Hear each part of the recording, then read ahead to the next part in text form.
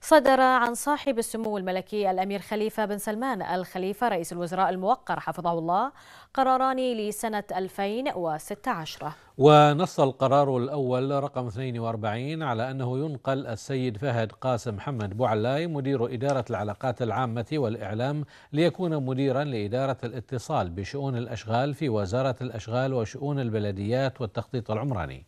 فيما نص القرار الثاني رقم 43 بتعيين الشيخ خليفة بن أحمد بن عبد الله آل خليفة مديرا لإدارة المتاحف في هيئة البحرين للثقافة والآثار.